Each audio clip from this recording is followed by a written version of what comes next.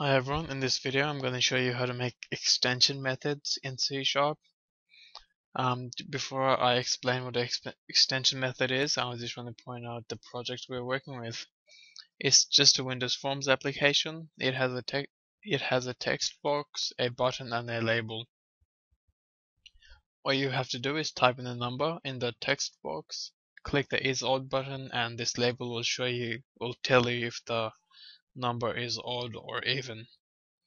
So I've actually read the code for this already. Um, well, one way of doing it anyway. Uh, when you click on the button, it gets the number from um, the text box. It checks if the number is odd.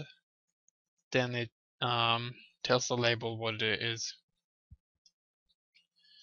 Uh, this code is fairly easy to read here, but if you have a, if you have a large application, this could get really messy, really fast. So what I want to do is eliminate this line of code by using something like any num, oops, caps lock, num dot is odd, which does not exist yet.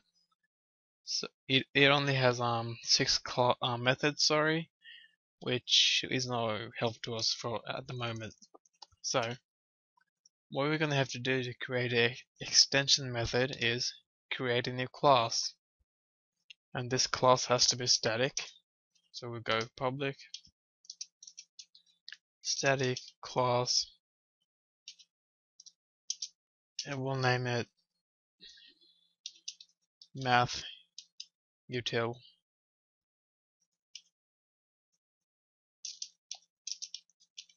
and we'll create a static method in there to check if a number is even or odd.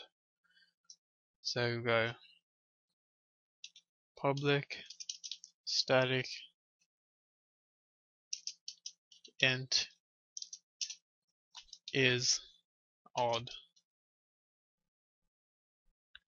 and you will the input for this will be a integer so I int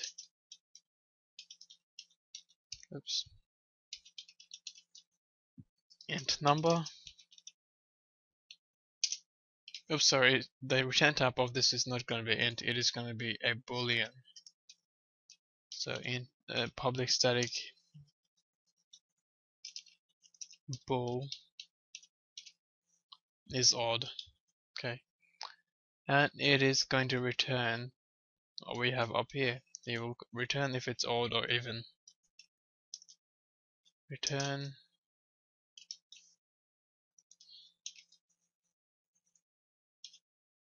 And there we have it. That's a static class that we can use to check if the number is odd or even. But that is still not a um, extension method. To make this extension method sorry um, let me just explain what extension method would look like.